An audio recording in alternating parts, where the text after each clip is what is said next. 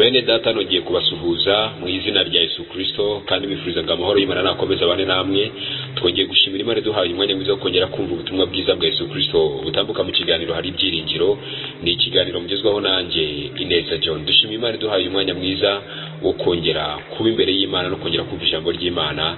Ni iby'agaciro uwiteka nabihererwa icyubahiro reka tubanze dusenga Imana noneho tuze tuganira ijambo ry'Imana. Turagushimiye mubyeyi wacu mwiza tugushimiye ineza yawe tugushimiye uburinzi bwawe uduha umunsi ku munsi Imana ushimiye ko utanga ingabo nyinshi ku bwacu byiringiro bizima. Dore twongeye kubona undi mwanya wo kubimenya kugira ngo twumve ijambo ryawe. Ngwino n'ubundi wongere utuganirize muri kano kanya. Hanyuma igihe mpinduke mikoro yawe byiringiro bizima twongere duhembukire imbere yawe biciye mu ijambo ryawe. Mbisabye nizeye mu izina rya Yesu Kristo. Amen.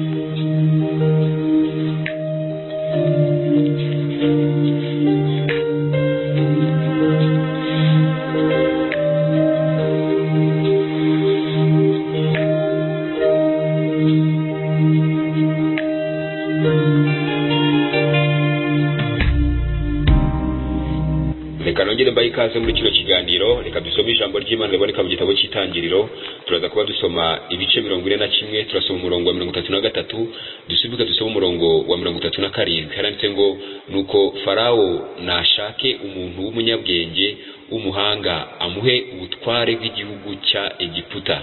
Mirongo itatu na karindwi aravuga ngo iyo nama inezeza farawo n'abagaragu be bose. Imana idufashe cyane ah, kandi ihabwe icyubahiro kubw'iri jambo duhawe muri kano kanya. Turacyaganira ku ntego tumaze iminsi tuvuganira ivuga ku mahame agenga umukristo aho turimo tuganira ihame rya gatandatu ryitwa ah, imbaraga zo kwatura. Imana yacu ishimwe cyane. Ah, kwatura ku mukristo ni iby'igiciro kandi ah, ni ikintu gikomeye cyane kwiga kwatura cyangwa se kwitoza kwatura neza kuko twabonye neza yuko kwatura kubasha kurema mu buzima bw'umwuka hanyuma twamara kurema mu buryo bw'umwuka ah, imana ikabisohoza no mu buryo bw'umubiri imana yacu nihimbazwe cyane. Kubera yuko ah, dufite uburenganzira birambwira ngo icyo tuzasaba cyose ah, mu izina rya Yesu Kristo tuzagihabwa. Mu yandi magambo iyo tubashije kwatura tukatura turema mu izina rya Yesu Kristo nta kabuza yuko ibyo twatura bibasha kuremeka imana idufashe cyane.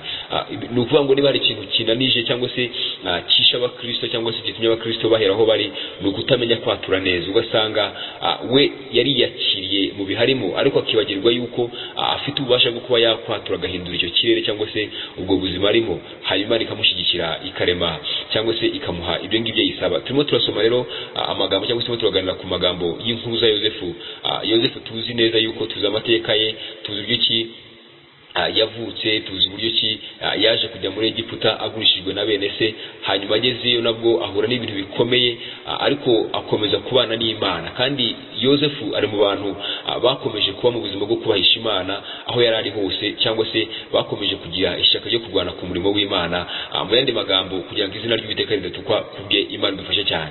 Hanyuma hano turamubona aho yari avuye mu nzu y'imbohe bitewe n'inzozi farawo yari yarose.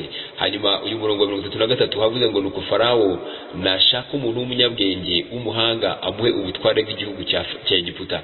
Bivuga ngo hano ni igihe yari ahawe ijambo kugira ngo avuge uko abyumva cyangwa se amaze gusobanura inzozi hanyuma agira inama umwami. Hanyuma ikintu gihishe muri uku kuvuga kwa yosefu ni uko hano yaratuye imana idufashe cyane. Yaratuye abwira farawo ngo nuko farawo nashaka umuntu w'umunyabwenge w'umuhanga. Iki ni ikintu gikomeye cyane. Burya ah, kwatura mbabwire bene data ni ikintu kidakorwa n'abantu bose. Kumenya kwatura neza ku buzima bwawe ah, ni ubwenge budasanzwe ndetse n'ubuhanga budasanzwe. Kubimenya no kubisobanukirwa ukumva yuko ah, wowe ugomba kuba u- uhishiwe cyangwa se navuga ngo ukamenya uburyo ugomba kuba witwara mu buzima bwawe cyangwa se watura mu buzima bwawe.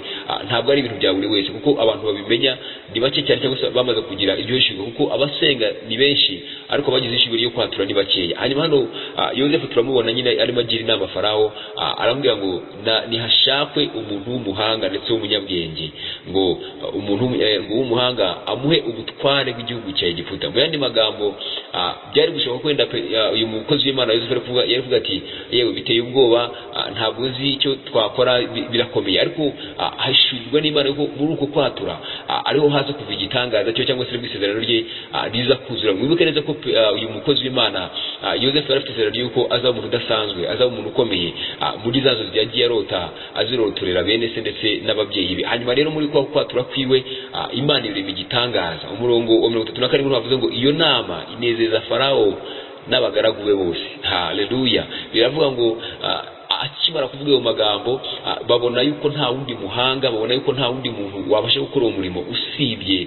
Yosefu bivuga yuko nawe ah, burya ushobora kuba uri nko mu kazi. Ukavuga ati mbona nta kindi kintu nabasha gukora hano undi haramagije oya ntabwo haguhagije kuko imana yakuzanye aho ngaho. Bibiri irambwira ngo tuva mu bwiza tujya mu bundi. Mu magambo ah, ukwiye kuva ngo ukajya ahandi hantu ah, ukwiye kubona poromosiyo niba niba uri ku ishuri ntabwo ugomba kuvuga ngo njyewe nta bwenge mfite. Ngo njyewe ndabizi yuko ah, isomo runaka riransinda oya imana yakuremye ifite ubuhanga ifite ubushobozi bwo guhindura ayo mateka yawe agahinduka niba udafite udafite urubyaro ukavuga ngo njyewe rwose nariyakiriye. Oya ntabwo ariko imana igutekerezaho. Gerageza utangire ureme gerageza utangire wature utangire kubona nawe ukikiye nawe uhetse nawe wose nawe uri umuntu uri umubyeyi nk'abandi imana yahinduye amateka yawe. Ni ukuvuga ngo hari ibyo imana idutekerezaho ariko atekereza ko natwe tubasha kugira ngo tu- tubanze twature hanyuma imana ishyire mu bikorwa byayo twatuye hanyuma idushi- idushyigikire imana idufashe cyane. Rero ntabwo ukwiye kuguma ngo wumve ngo hara- harahagije cyangwa wenda ngo uvuge ngo ibi ngibi nibo birampagije ahubwo itoze buri munsi kwatura kuko niba tuva mu bwiza tujya mu bundi. Ni ukuvuga ngo imana yakuzanye ngaho cyangwa se yagwaye uh, i- ubwo bwenge cyangwa se yaguhaye iryo shuri cyangwa se yakuremye ikakugira uwo uri we. Ni ukuvuga ngo ahandi ugomba kugeza mu izina rya yesu ntabwo aho ngaho ariho yakuremeye ugomba kugarukira ahubwo hari ahandi hantu ugomba kugera rero mwene data itoze kwatura neza kuko ah, aya magambo dusomye twabonye yuko yosefu muri kwa kwatura neza byamuviriyemo igitangaza hanyuma ahinduka ah, umuyobozi umwe ukomeye cyane muri egiputa. Nawe rero muri kano kanya byakoreye ko amateka yawe ahinduka ariko bivuye mu kwatura kwawe kwiza. Hanyuma imana ikagushyigikira ubuteka bifashe cyane. Reka dusenge imana bw'iri jambo twumvise. Hanyuma umwuka w'imana urushaho kudusobanurira kuko ah, ni we ujya ubasha gusobanura kandi agasobanura neza. Ah, imana idufashe cyane. Turagushimiye imana yacu bw'iri jambo duhaye. Ushimwe yuko ah, iyo twatuye neza Imana ubasha kudushyigikira ushimwe yuko iyo dutekereza neza ubasha kudushyigikira mu izina rya Yesu Kristo. Ndakwinjiza kugira ngo buri muntu wese ufite rino jambo mukunzi mwiza ugende umusobanurire kurushaho kandi ibyiringiro bizima wigishe buri muntu wese Mana kwatura neza mu buzima bwiwe kwatura neza mu kubaho kwiwe kugira ngo Imana ukomeze kwihesha icyubahiro ku buzima bwe mukunzi mwiza. Urakoze ndagushimiye ngaho herekeresha iri jambo birimo n'ibitangaza icyubahiro n'ikuzo ni ibyawe ni mu izina rya Yesu Kristo. Amen.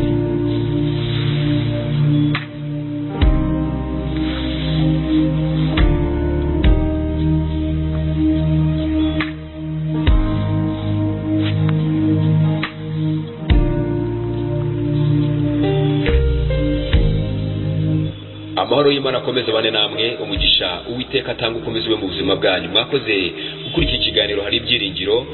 Ni ikiganiro mugizweho nanjye ineza john. Ndabifuza umugisha w'imana mukomeze mugubwe neza kandi dukomeza kwakira abantu bashya. Ni ukuri data wo mu ijuru akomeze abagire neza kandi mwebwe mikaze ndetse imana ibaha umugisha mwiza mukomeza gusangiza abandi buno butumwa bwiza. Umurimo mukora ni umurimo ukomeye cyane. Ah, namwe musenga musengera umurimo. Ah, uwiteka akomeza biteho muri byose. Ndabifuza umugisha w'imana muri byose kandi ndabifuza kugira intangiriro z'icyumweru cyiza kirimo ah, guhaha no kuronka mu izina rya Yesu Kristo. Kirimo kubona ubwiza bw'Imana ndetse no gutungurwa n'Imana mu buryo budasanzwe. Amahoro y'Imana abane namwe muri byose. Shalom shalom.